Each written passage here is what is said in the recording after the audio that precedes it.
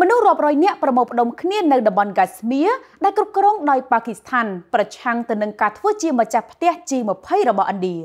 ទូរទស្សនិកជនមនុស្សរាប់រយនាក់បានប្រមូលផ្ដុំគ្នានៅតំបន់កាស្មៀរគ្រប់គ្រងដោយប៉ាគីស្ថានកាលពីថ្ងៃច័ន្ទទី22ខែឧសភា ដើម្បីតវ៉ាប្រឆាំងទៅនឹងការសម្រេចចិត្តរបស់ឥណ្ឌាដែលជាប្រទេសគូប្រជែងក្នុងការធ្វើជាម្ចាស់ផ្ទះកិច្ចប្រជុំទេសចរ G20 នៅលើទឹកដីក្នុងផ្នែកនៃតំបន់ហេម៉ាឡ័យដែលកំពុងតែមានចំនួនទីក្រុង New Delhi ដែលកំពុងតែធ្វើជាម្ចាស់ផ្ទះនៃសន្និសីទដ៏សំខាន់មួយនៅក្នុងរដ្ឋធានី Srinagar របស់តំបន់ Kashmir ចាប់ពីថ្ងៃច័ន្ទទី22ខែឧសភាដល់ថ្ងៃពុធទី24ខែឧសភា ជាទង្វើដែលប៉ាគីស្ថាននិងចិនបានប្រឆាំងបាតកោជាច្រើនអ្នកបានធ្វើបាតកម្មនៅទីក្រុង Muzaffarabad រដ្ឋធានីនៃតំបន់ Kashmir ដែលគ្រប់គ្រងដោយប៉ាគីស្ថាន និងទីក្រុងផ្សេងទៀតដោយស្រែកថាចេញទៅឥណ្ឌាត្រឡប់ទៅវិញ ហើយធ្វើពហិការធ្វើពហិការធ្វើពហិការ G20 នេះបើយោងតាមមន្ត្រីម្នាក់ដែលមានឈ្មោះថារាចាអាហ្សាអ៊ីបាល់បានឲ្យដឹងរដ្ឋមន្ត្រីការបរទេសប៉ាគីស្ថានលោក Bilawal Bhutto Zardari បានទៅទស្សនាតំបន់នេះហើយបានថ្លែងទៅកាន់សភានីតិបញ្ញត្តិរបស់កាស្មៀកាលពីថ្ងៃច័ន្ទទី22ខែឧសភាដែលលោកបានចាត់ទុកកិច្ចប្រជុំ G20 ថាខុសច្បាប់ហើយជាការប៉ុនប៉ងរបស់ឥណ្ឌាដើម្បីស្វែងរកភាពស្របច្បាប់លើការគ្រប់គ្រងរបស់ខ្លួននៅក្នុងតំបន់ចំនួនលើសពីនេះលោកបានលើកឡើងថាឥណ្ឌាកំពុងប្រើប្រាស់តួនាទីរបស់ខ្លួនក្នុងឋានៈជាប្រធាន G20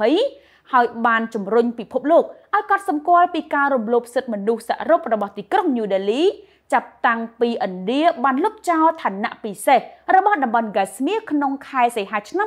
2019ហើយបានបំលែងវាទៅជាទឹកដីសហព័ន្ធកិច្ចប្រជុំក្រុមការងារទេសចរ G20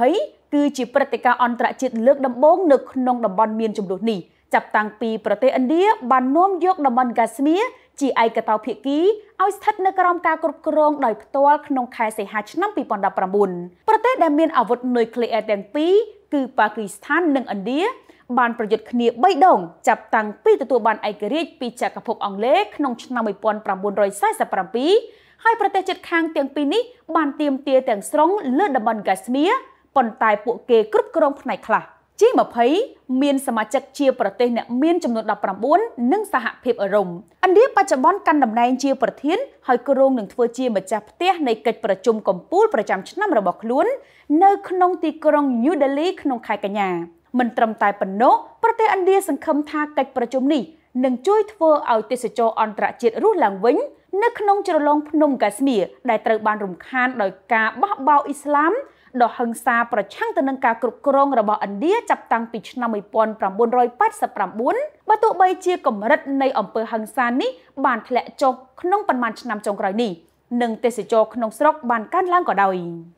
ប្រមិត្តទូរទស្សនិកជនគូបញ្ជាក់ផងដែរថាចិននិងអារ៉ាប៊ីសាអូឌីតក៏បានប្រឆាំងទៅនឹងកិច្ចប្រជុំដែលធ្វើឡើងនៅកាស្មៀរផងដែរដោយប្រទេសទាំងពីរនេះបានធ្វើពហិការមិនចូលរួម។